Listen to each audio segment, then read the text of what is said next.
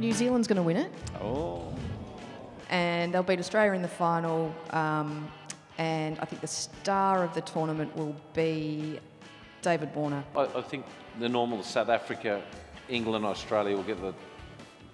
You can get done You on think the Duckworth English- the Lewis. English look I know, but I, I'm still leaning to them. The only other guys could fit in there maybe Pakistan, maybe.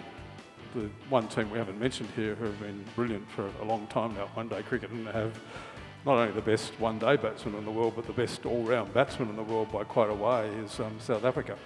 In big tournaments, they overlook themselves. They generally find a way to lose, but at some point, that history has to change.